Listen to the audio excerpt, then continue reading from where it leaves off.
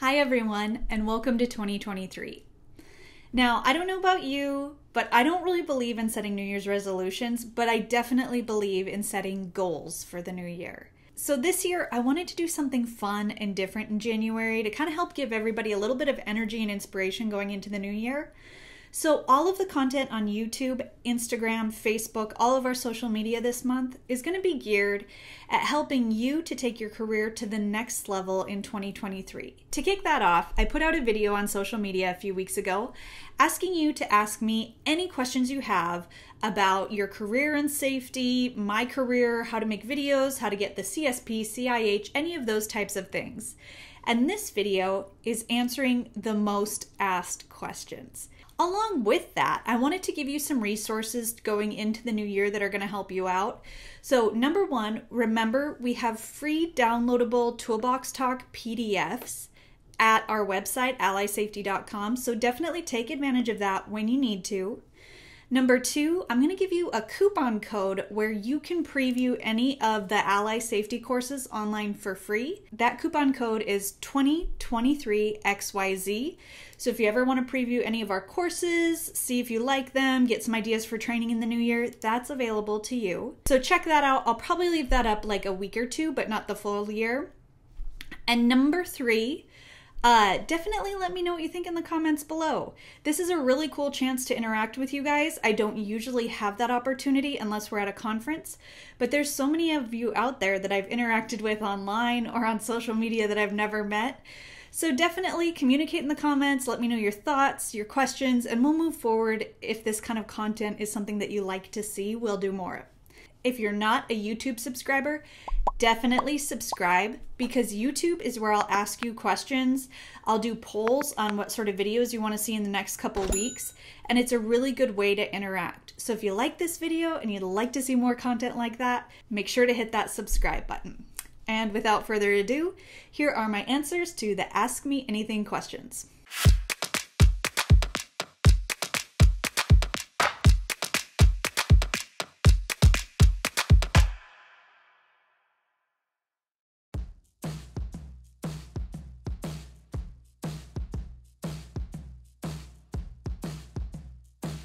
So, the question that came up the most often is a great one.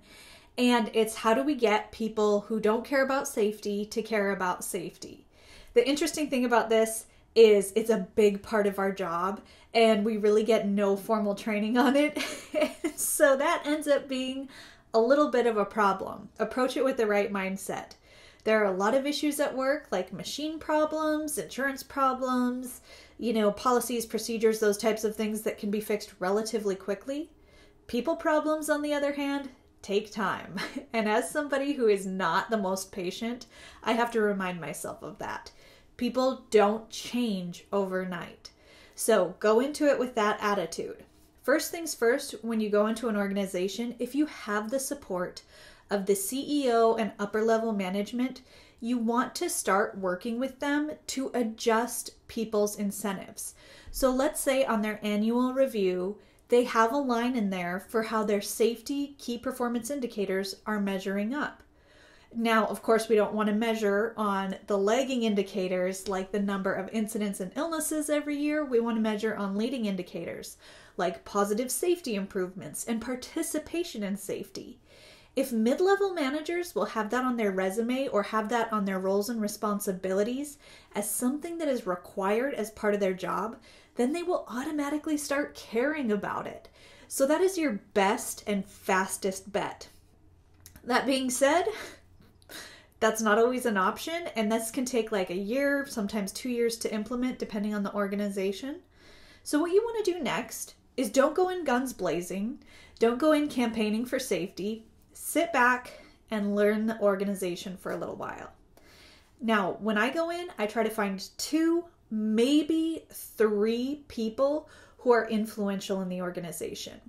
Sometimes those are the people you would think they are, like managers, foremen, people who are in leadership roles. Sometimes it's not. Sometimes it's just somebody on the crew who is very well respected.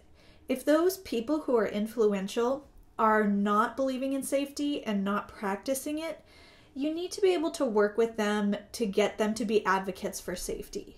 how you do that is you find out what their big motivators are. A lot of times, people who aren't advocates for safety, it's because they feel like it's another thing to do and they're already too busy. So, see what is really driving them and what pressures they're under, and find a way to integrate safety in a way that's going to make their job easier. This takes getting a little bit creative, but an example that I've used that's pretty common is let's say you go into a factory and there's a machine, an assembly line that is really struggling, and whoever's in charge of that isn't really advocating for safety chances are they're usually getting a lot of pressure on production.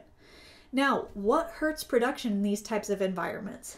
Things like mechanical breakdowns, people who don't know how to do their jobs correctly, you know, maybe the company's had a lot of turnover, or things like that. So, what we can do here is we can align our incentives because when safety improves, so does productivity and quality.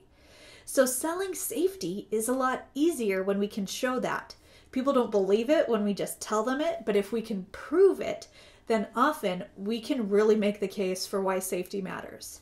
So, what I would do in this case is work with whoever is in charge of that product line or that assembly line, and we would find the person who's been working there the longest, who understands the most about what they're doing, and create a really solid, good procedure then I would work with the maintenance department to come up with a good preventative maintenance plan. Then we'd train people on it. And what do you do if the preventative maintenance plan needs to be activated? What do you do if there's a breakdown? And how do you run this machine like you know what you're doing? How do we provide the best possible training? Once a process like that is implemented, things start moving more smoothly, and this person who maybe didn't believe in safety initially can see the value in safety. So, like I said, it's a long process, but changing people's minds often is. And if we really believe safety works, then we have to show how it works in a way that also improves productivity and quality. And a good safety program should do that. The next question was specifically about how do you deal with clients who want safety to improve, but who don't necessarily believe in safety. And there's this problem in consulting where sometimes people have had an OSHA inspection or an injury and they know that safety's messed up at their organization. And so the first thing they jump to is okay, let's call a safety consultant to help us with this. So you go in, you point out what's going on, and they don't make any changes at all. Now, the problem with this is it's exactly like if you called in an accountant to come do your books. If you called in an accountant, they went through all your books, they looked at what you're spending versus what you're making, and you were spending way more than you're making, and they gave you some suggestions on where to cut back. You looked at them and you thought, mm, I don't really have time for that. Then you're still going to have the same problem next year. And safety is the same way. You can call in a safety consultant to help, we can get down there, boots on the ground, tell you exactly what you need to do, work with your employees. But if you're still not caring about safety and employees know it and it's showing, nothing's going to change. So, if you want safety to be successful, you need to work with your consultant and you need to be ready to integrate safety into your organization.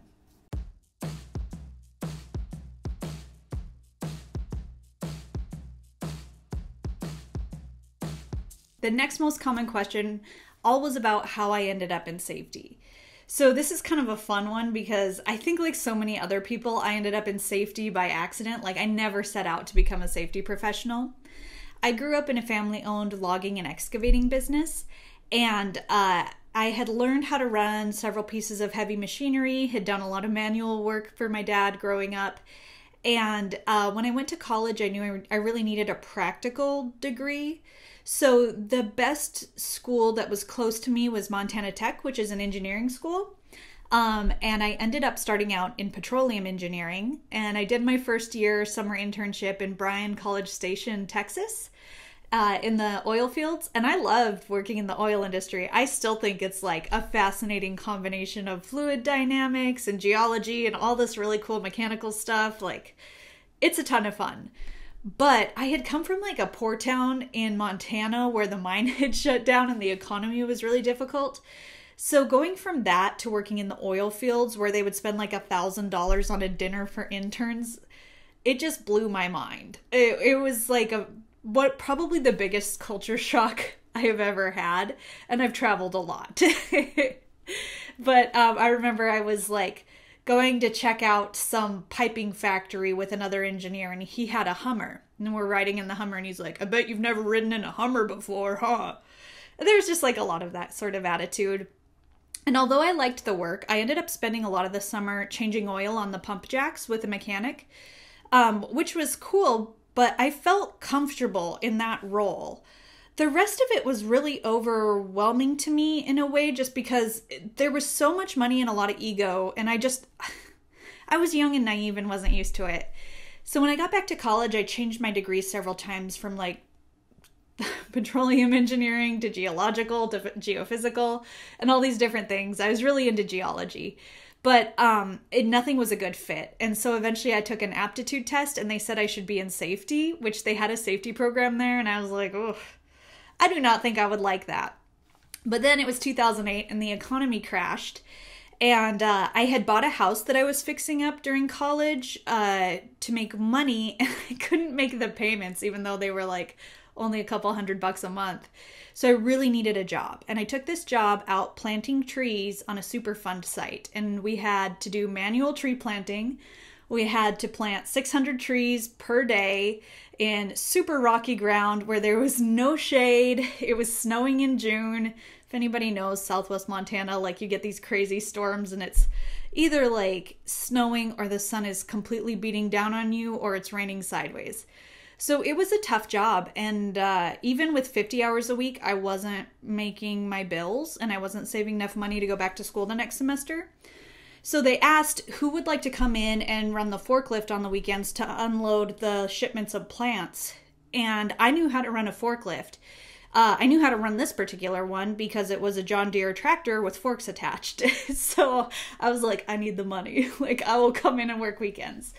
So I started coming in on the weekends, got to know the management team, and they weren't happy with the safety person they had. It wasn't the right fit. There was nothing wrong with him, it just wasn't the right fit. And so they asked if I would like the job, and I had taken several safety courses in college, and it was a promotion, and I really needed it. And I was like, yes, I could do this. So that was the summer of 2009, and I was in safety for the rest of the summer. And when I went back to school that fall, I changed my major. And uh, honestly, I think the aptitude test was right. It's been a good career path for me, and I've been in safety ever since. So I got my start in safety basically because I could run a John Deere with forklift implements on it.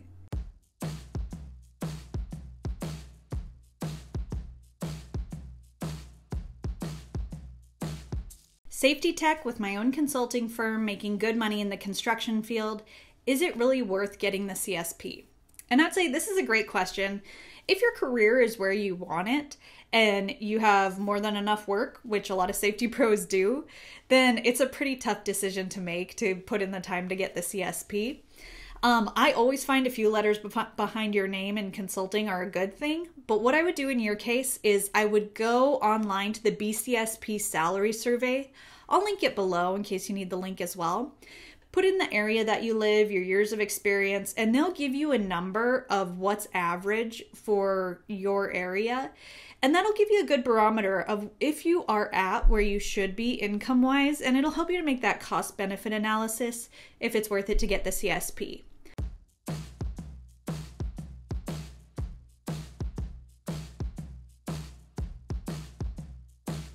Okay, next question. Is your job anything like you thought it would be? Um, yeah and no. I think the thing was, uh, I never really expected to stay employed for somebody else my entire career. One of my very early on bosses actually told me, eventually, Rachel, you're going to end up working for yourself. So just consider every job you have as training to be an entrepreneur and i think he was right and i i think like i was always kind of destined to go out on my own one way or another um I just didn't think it would take so much the form of like videos and e learning and like, you know, being online and that sort of thing. But I'm glad it did. It's really interesting. It's very challenging. And I still have the technical side of safety, and I like having that technical aspect.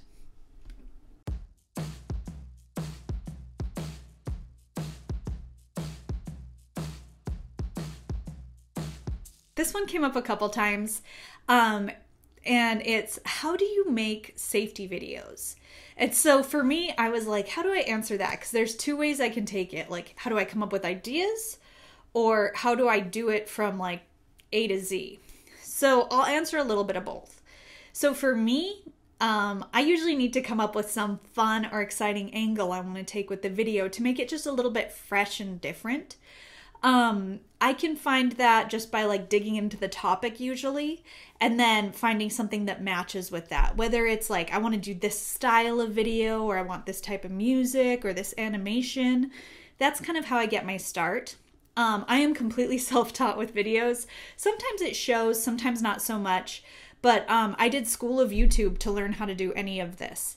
I now have a film crew that I work with on bigger projects or professional videos when we're doing like custom videos for companies. But before that, and even now, I make a lot of videos myself because I love doing it. And I would tell you don't go out and invest thousands of dollars in equipment because you really don't need to. Smartphones have amazing cameras. You can record in 4K and get excellent, excellent video quality with a tripod and a cell phone. The problem is going to be having good sound quality, and people will not watch videos with bad sound quality, which was a surprise to me. I had to learn that. Um, but the good news is you can go on Amazon and get a microphone, you know, that will plug right into your smartphone and will do pretty good. So I'll link some of those below so you can check them out. But yeah, all you need is like a tripod, a cell phone. There's plenty of apps that will edit videos for you. Just dig in get, and get started. That's the best way to learn, at least in my opinion. That's how I learned everything that I do. And if you're like me and you love editing, you'll put the work in. And if you don't love editing, you won't put the work in. And so it's a good way to see if it's worth the time investment for you. If you get into it and you're like, I'm not spending hours and hours doing this, it might not be the right approach, or maybe it's not the right hobby. There's a lot of different ways to make videos. Mine are very editing heavy, most people's aren't. So that's how I make videos. If you'd like to learn more about that, let me know in the comments. And also, um, I did put in an application to speak at ASSP this year and give a presentation on how to make safety videos. So we'll see if that works out.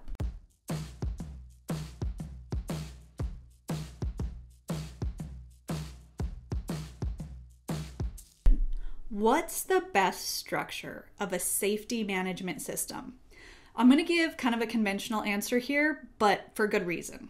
In my opinion, the best safety management system is going to be the ISO 45001 standard. And the reason is it's tried and tested across the whole world.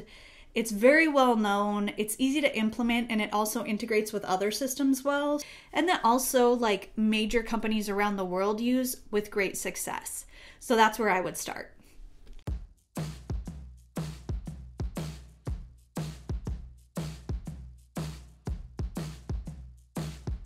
You're so young. How long have you been in the industry? Thank you for making SDS videos not terrible. Oh, well, thank you. I'm glad that you enjoyed the SDS video.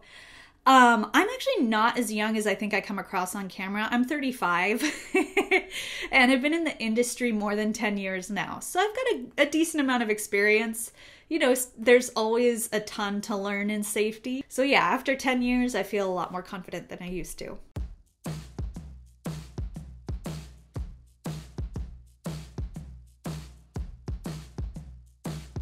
And last question what do you have in mind for us in the next year? Well, I'm super excited about 2023. I think this first month with January being all about goal setting and what we want to accomplish in the new year and things like that is fun, it's different. Um, and I'm really glad to interact with you guys. Uh, a lot of times it's me here making videos, and it seems like there's not a lot of that give and take back and forth from the audience. So I'm excited for January. Um, coming up, I'm really trying to improve my video skills. I really want to show more cinematic videos and actually show people in industry more. I would love the opportunity to do that. There's some exciting things that I've got in the works, but I don't want to speak about them until they come to fruition. But that's kind of like uh, my aspirational goals is to continue making great videos, and I don't think I need to star in all of them. I like to present, but I'd really like to like showcase people who do the work as well. That would be something that would be very meaningful to me. So we'll see where that goes. But I'd also like to hear from you guys. What do you want to see in 2023? What would make this channel more valuable to you, more useful, more interesting? Let me know in the comments. Again, if you're not a subscriber, make sure to subscribe because that's where I get a lot of the feedback and do polls and stuff like that and get more ideas of what videos to do. So make sure to include that. Check us out on social media. And remember, Ally Safety has tons of good resources from Toolbox Talk videos, full length trainings, Toolbox Talk PDFs, program templates, all sorts of things.